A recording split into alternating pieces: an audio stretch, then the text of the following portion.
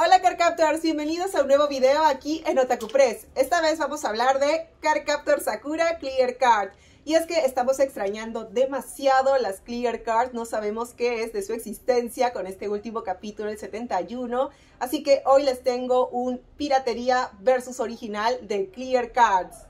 Lo cierto es que Sakura es una serie muy muy querida aquí en el Perú como en otros países de América Latina, así que van a encontrar muchos productos, tanto originales como piratas en las tiendas de anime, de manga, en su ciudad.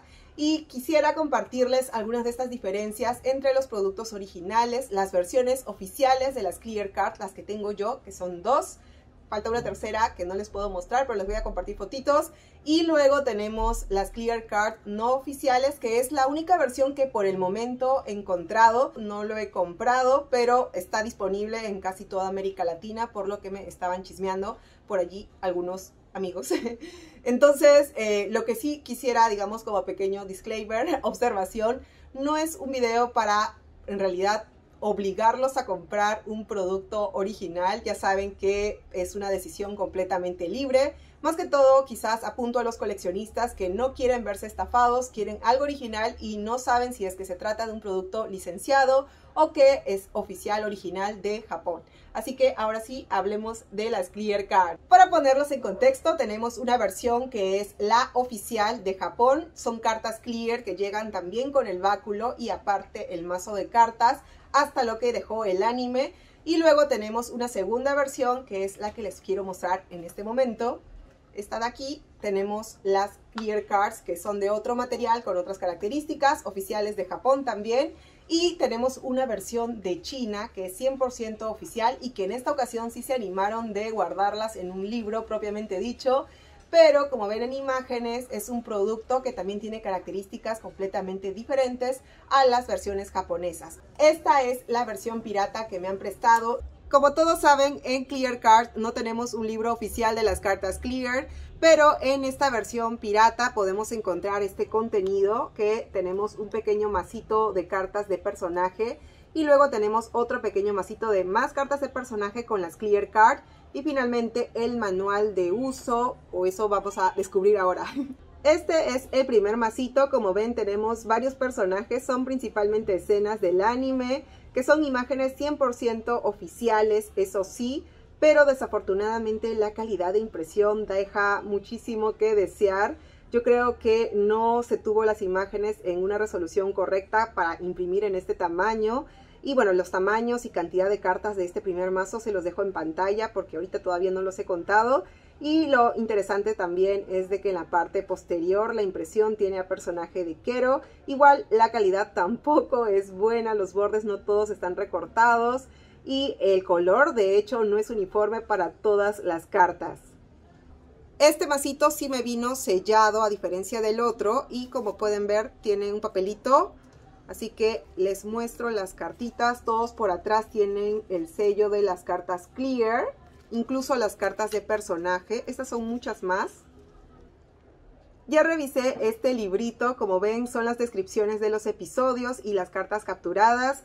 Voy a hacer una verificación del contenido, al menos con las referencias de las imágenes y les comento aquí en pantalla si es que encontré por allí alguna observación o algún dato incorrecto. Por el momento tenemos estas descripciones de las cartitas y por supuesto de portada a Sakura y por el otro lado a Kero. Esa fue entonces la versión pirata o bamba, pero aquí creo que tenemos la versión original de la que se basó ese producto no oficial. Les decía que creo que esta es la versión original en la que se basaron principalmente por estas coincidencias.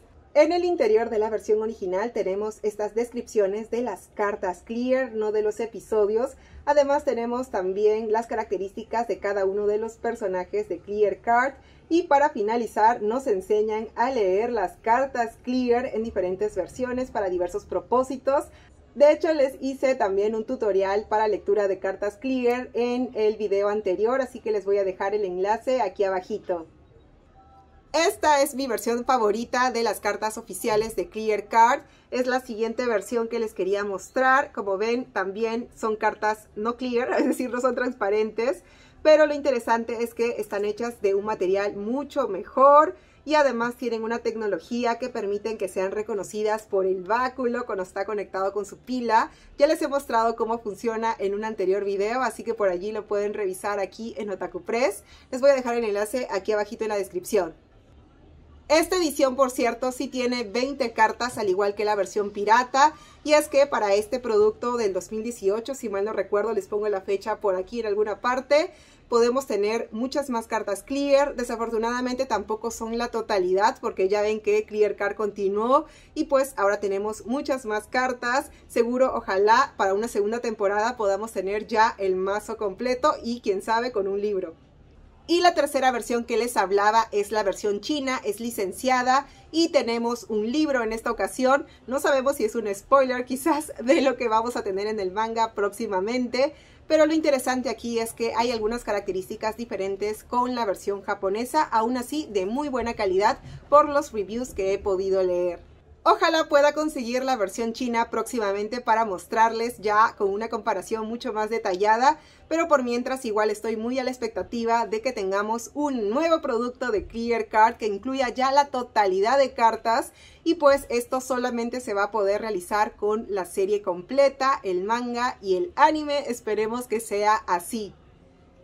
Así amigos terminamos el video, les dejo finalmente mis recomendaciones por acá, las recomendaciones finales relacionadas a cuáles son las diferencias de las cartas originales versus las cartas pirata y también otras recomendaciones relacionadas a dónde pueden comprar productos originales de Sakura. En el blog de Otaku Press pueden encontrar también muchas recomendaciones de tiendas que tienen envíos internacionales, obviamente los precios son diferentes por completo, pero por ahí les puedo dar algunos truquillos para que puedan encontrar ofertas o descuentos en el envío. Ahora sí es momento de leerlos, así que por aquí abajito voy a estar atenta a sus comentarios. Muchas gracias a todos por participar de este video, espero les haya gustado y nos vemos en el próximo.